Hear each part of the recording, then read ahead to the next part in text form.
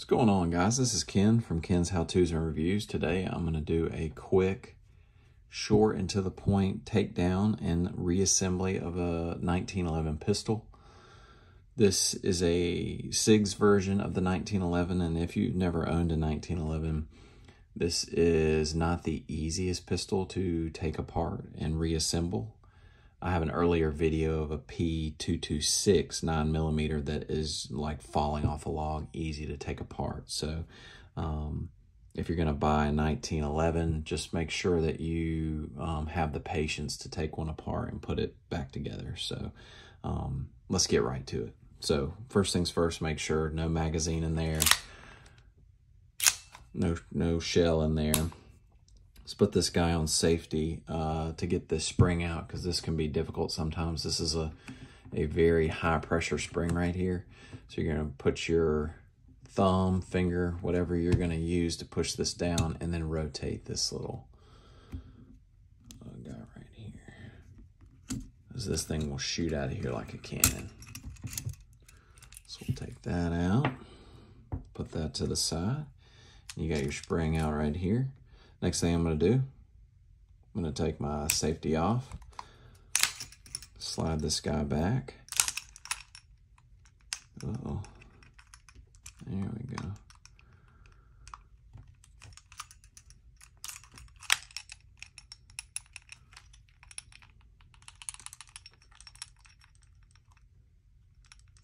All right, now I'm going to take my spring out.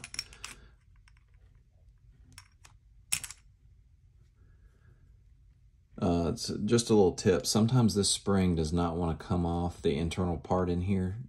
It's okay to leave it, and I'll show you. You can leave it right here. Next thing we're going to do is we're going to take our pin out. So we're going to line our pin up with this little groove right here. I'll take this out. And we can slide this off. That pin allows us to slide off because it catches this circle right here bottom half here. Here's that little internal part I was telling you about. Sometimes it comes off completely, sometimes it doesn't. So we can take that out. This stays with the spring. Our barrel, this is not the easiest barrel to take out because it does not come out this way.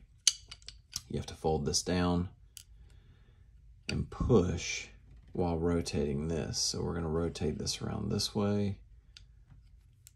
We're gonna lift and push out this way.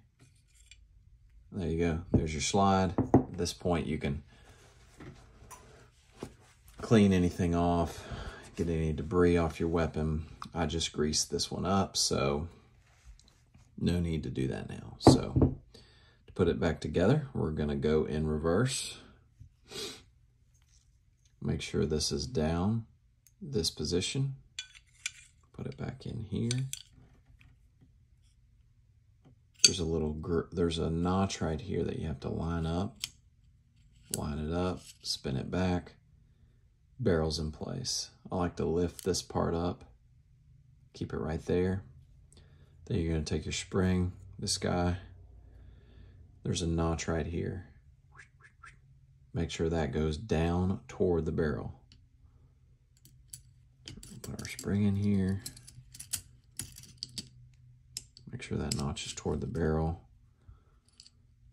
Push the circle forward so it lines up with this part. All right. This is kind of, sometimes can be the tricky part. We'll put the bottom half of our gun back on.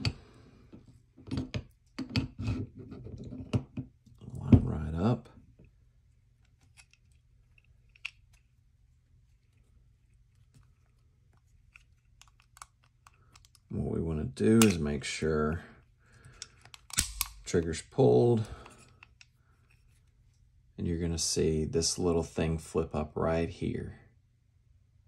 You're going to push that down so you can move your slide back.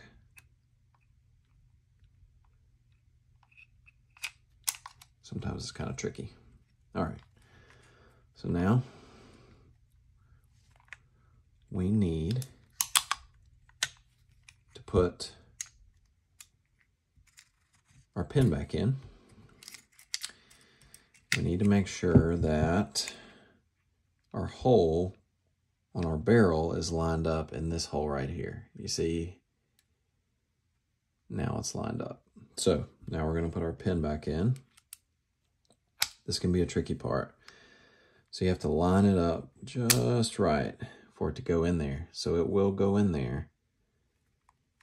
Kind of have to finagle the slide just a bit to get in there.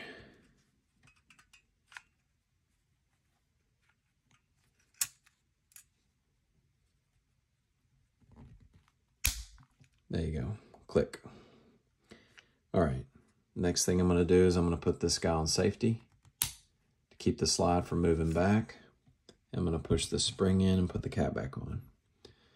And I can tell you I've done this a million times. You put this spring back on, this cap, and you don't keep tension on the spring and it'll shoot right to the ceiling. So make sure, it might do it now, that you keep some tension on the spring always or you will be retrieving your spring from the drywall.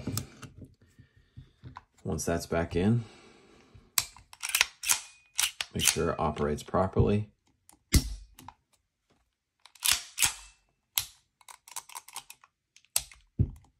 And there you go. If you have any questions, feel free to comment, like, and subscribe. See you guys next time.